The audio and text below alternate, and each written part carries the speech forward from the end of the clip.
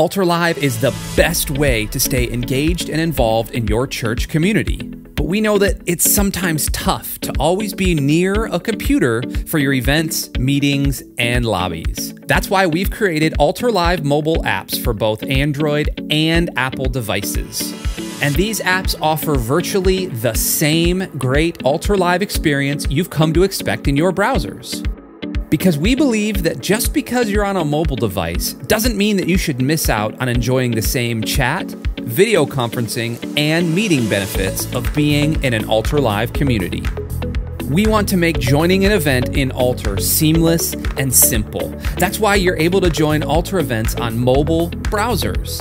Head over to your church's community page via the link or button they've provided for you. When you click on a link in Altar Live on your mobile phone, you'll be able to watch the event.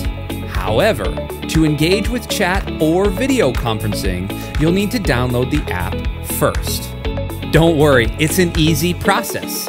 Simply click the Open Altar Live app button. You'll then be prompted to open the app.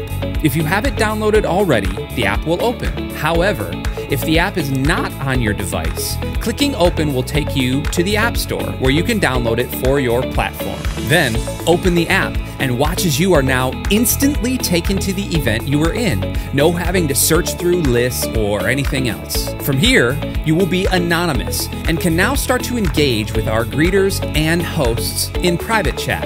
But to really be part of your community, you'll have to log in. To do so, click one of the seats below your live stream and then enter your login credentials or click the magic link button to get a magic link sent directly to your email address. And if you've never signed up with us before, don't worry, it's free and it's a simple process. Now that you're all logged in, you'll be able to click on a seat and start or join a watch party.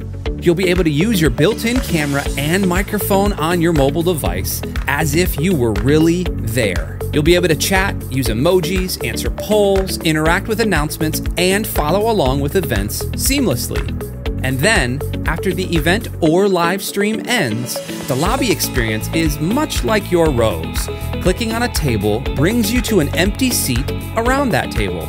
You can turn your camera and your microphone on and talk face to face with those around you.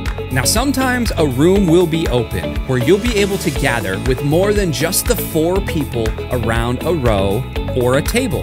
Click the open room and you'll be able to turn on and off your camera, mute your microphone, raise your hand, and interact with text chat just like in an event. The same also goes for your meetings. Just click the link you've been provided and your app will open up.